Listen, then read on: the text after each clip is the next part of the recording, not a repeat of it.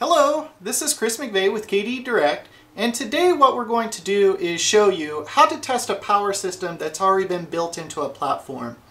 Here we have a fully built and flown platform, but we, but we want to isolate one motor and ESC to test in this system to make sure everything is fine. For safety, we should have all props removed before we power up any part of the system. In order to isolate one power system on this platform, we only need a spare battery with the correct voltage to run our receiver. We already have everything else on the platform to conduct our test. Our receiver should have nothing else plugged into it. This allows us to use it in this test to properly arm one power system at a time. Here I'm going to remove the S-Bus connector on our system. Your receiver, you should remove all other connectors that are attached to it, leaving the receiver bare. We want to isolate motor 1. In order to do that, we're going to simply plug motor 1 into the throttle channel of the receiver.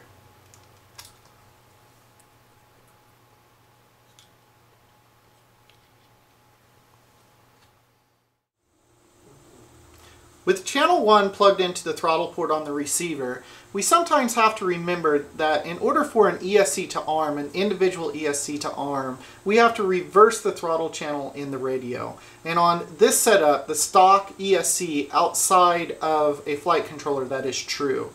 Each radio system will vary. It will either be normal or reverse, and you just have to remember that in order to properly arm the ESC.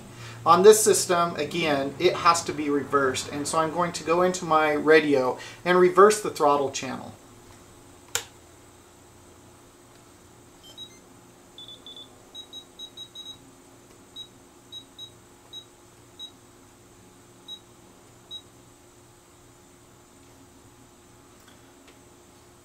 Now that we have the throttle channel reversed, um, we can bring power to the receiver and then main power onto the whole system, which will arm the whole system. It will arm the individual ESC and it will arm all the other ESCs, but nothing will spin because there's no signal going to them. And we have our props removed uh, for safety reasons. So now I'll bring in my secondary battery and plug it into my receiver to arm the receiver. And there we go, we get a green light.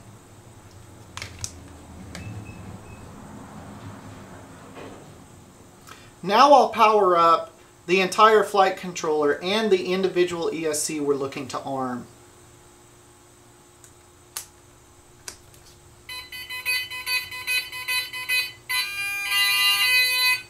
If the individual ESC did not arm properly, we would simple, simply reverse the throttle channel in order to get it to arm properly.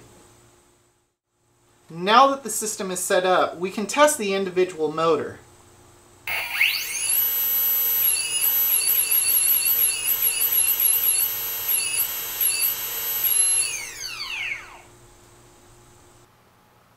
What this allows us to do by ruling out an individual power system is to isolate it and test that power system by itself outside of the flight controller.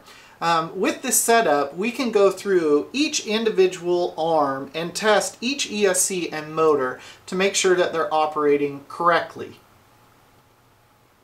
What that allows us to do is rule out the power system itself. Um, by ruling out the power system itself, it allows us to look to see if there are other issues within our platform. And this is how you test an individual motor, an individual power system with a flight controller that has already been built into a system.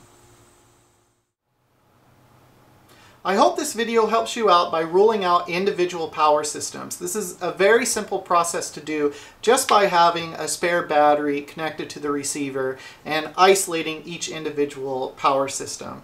This will help you rule out and troubleshoot problems that you're having with a flight controller or a, a general platform.